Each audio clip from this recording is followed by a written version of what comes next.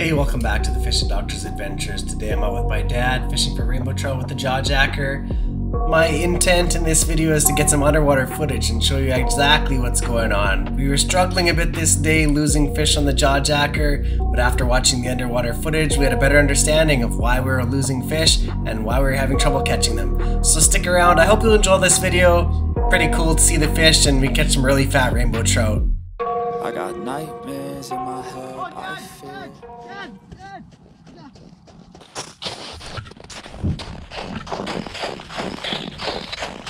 Came off. I ran to get the camera. He was fighting hard, but he came off. They're out here. Yeah, Don't need to go in shallow. no. That didn't take long. I just put it in.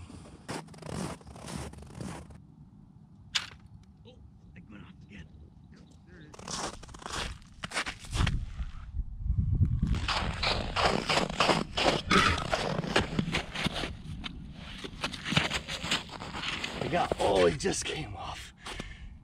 Just came off. He was on there. Should be cool. I think we got down the GoPro. Underwater. Here's that underwater shot of that fish I missed on the jaw jacker. He comes in once and actually hits the upper lure, and then he swings back around and hits the lower one and stays buckled for a few seconds but gets off right as I get there.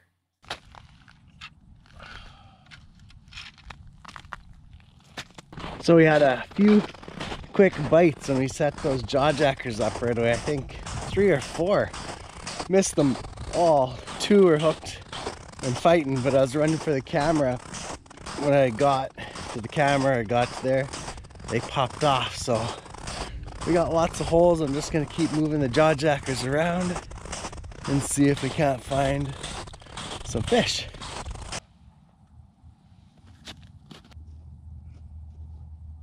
Seeing anything there? I had a couple just go by. Yeah, right under the ice. No, they just come in and turn, but I got a bigger, I had a jig on. I'm gonna put smaller thing on. Oh yeah, that might work.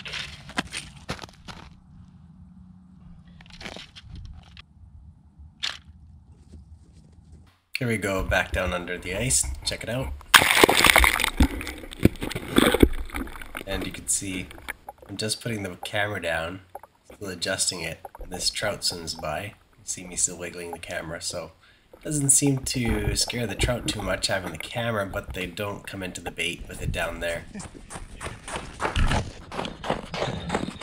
Don't let the rod loose. Keep the camera. Oh, that's a oh, big one. It's a big one.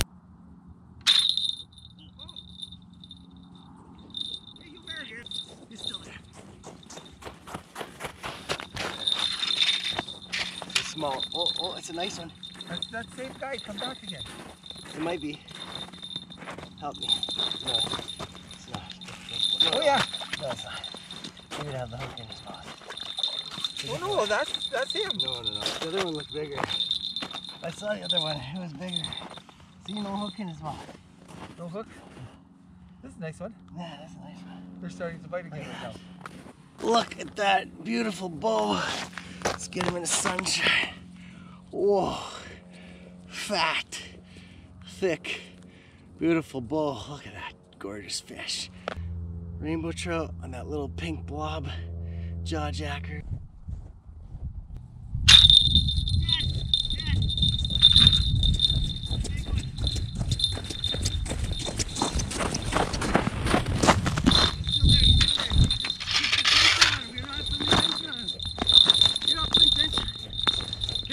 Don't grab him with your. That's when he breaks the Look at him. thing.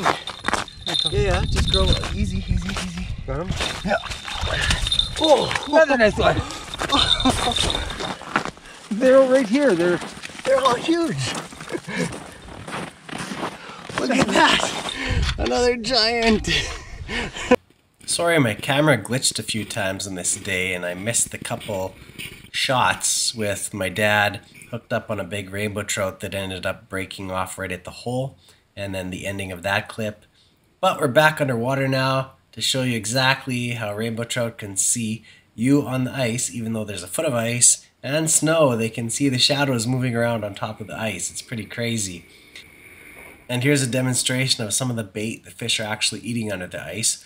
On the right hand side of your screen, you'll see a water beetle floating up to the surface to get some oxygen. And these are larger in size and they're usually brown to black in coloration. The trout do eat them, and sometimes I find trout are absolutely full of these.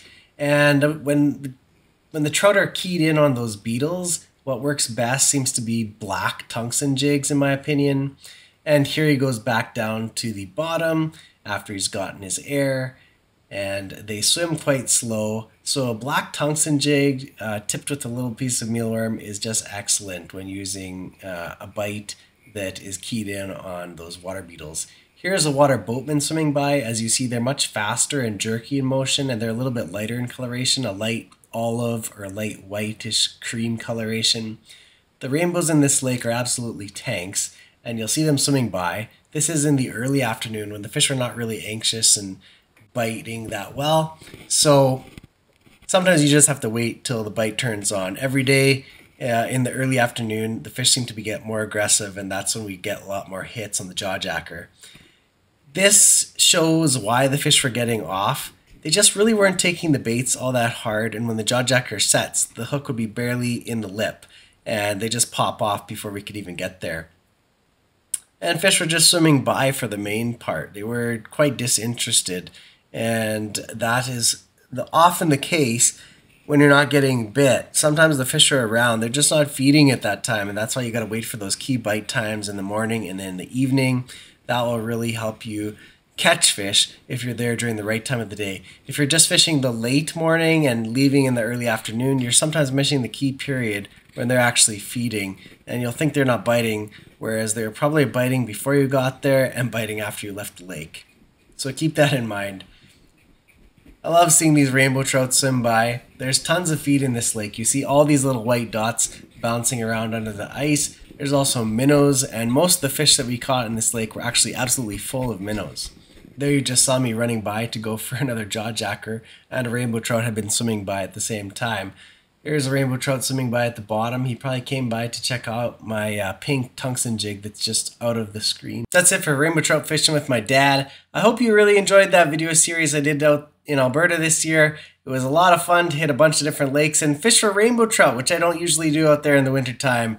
If you enjoyed the video series, give me a comment below, share with a friend, hit the like button, and uh, if you want to see more videos, hit that subscribe and notification bell, and that will let you know when I'm posting more stuff. Okay? Thanks for watching. God bless, and good luck out there ice fishing this year.